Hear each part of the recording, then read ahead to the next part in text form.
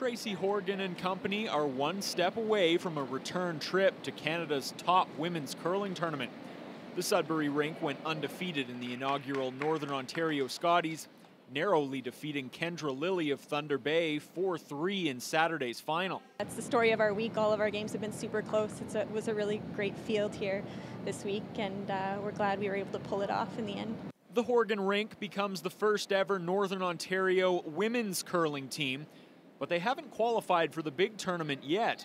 They'll now represent the region in a relegation qualifier against Kerry Galusha of the Northwest Territories, Yukon's Sarah Koltun, and a representative from Nunavut, with the winner advancing to the main draw of the Scotties Tournament of Hearts in Moose Jaw, Saskatchewan next month.